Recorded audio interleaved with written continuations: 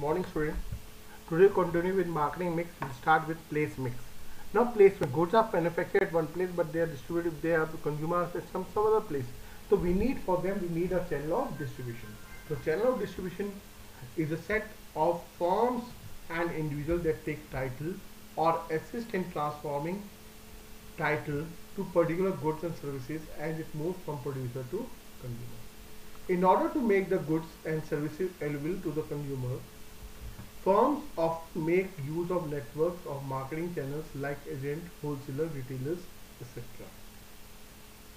Now first is direct or zero level. Add the words such as zero level. Zero level means there are companies selling directly to the consumer. The, this is a simple and shortest mode of distribution. Indirect distribution goods are directly available by manufacturer to customers without involving any intermediary.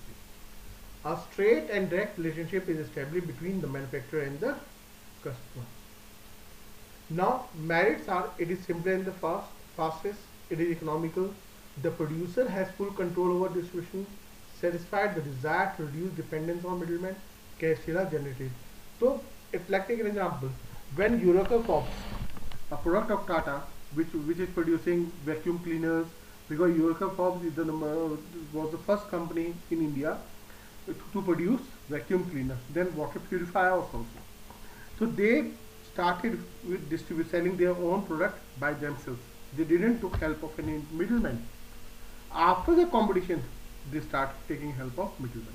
Or uh, machines the company which are producing machines like L&T they sell it to only to the customer because customers are limited and it's of a great value. Then next is indirect channel. Now indirect channel is the first is one level channel. As the word says one level. We are taking a help of one middleman.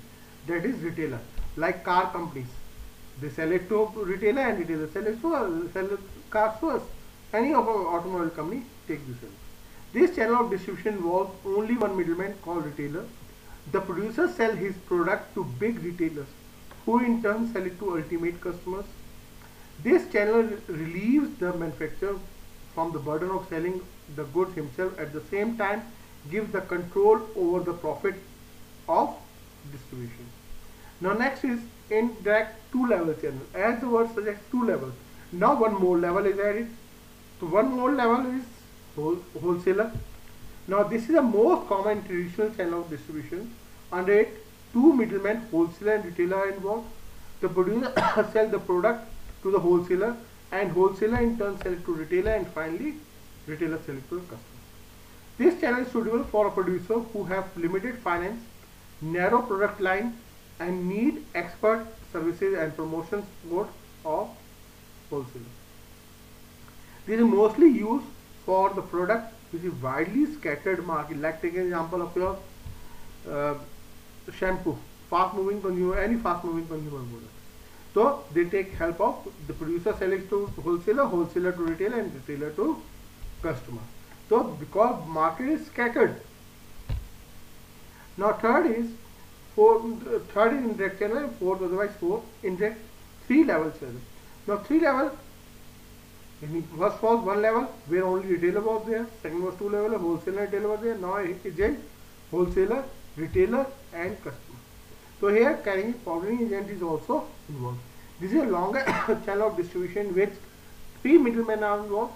This is used when the producer wants to fully relieve of the problem of distribution and thus hands over the entire output to the selling agent. The agent distributes the product among a few wholesalers. Each wholesaler distributes the product among a number of retailers who finally sell it to the customer. Thank you.